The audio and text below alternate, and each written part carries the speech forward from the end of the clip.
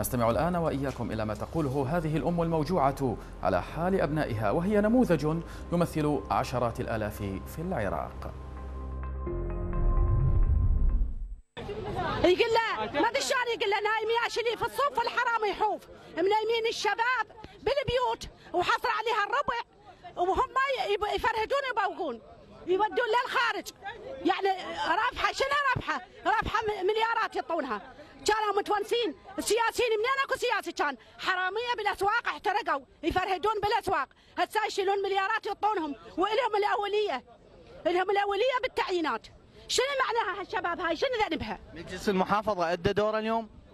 مجلس المحافظة بس يبوقون. منين هالدور؟ يعني أكو دور من المحافظ لأصغر واحد. كلهم يبوقون. من عم معمم السيد الكبير لأصغر واحد. كلهم حرامية ويبوقون وكلهم أرصدتهم بالخارج. والشعب هذا ضال بالذل وبالظلم يشتغلون محلات مكفخة. عليهم درسوا أنا واحد قانون وواحد علوم سياسية وواحد إنجليزي قاعدين بالبيوت. شنو ذنبهم؟ شنو ذنبهم؟ ما عونا نوصلهم. حتى ملابسنا بعناها على موتهم. يعني وهسه هاي نتيجتها؟ من كان صدام بيوم اللي يخلص يمشي تعيينه لأي مدرسة.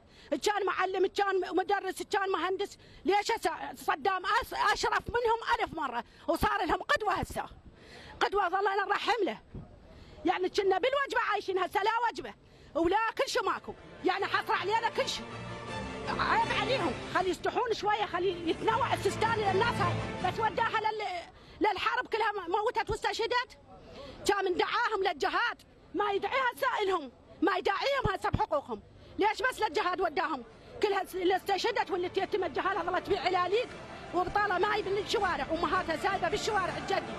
ما يستحون ما عيب عليهم. هي حرامية هاي مو حكومة.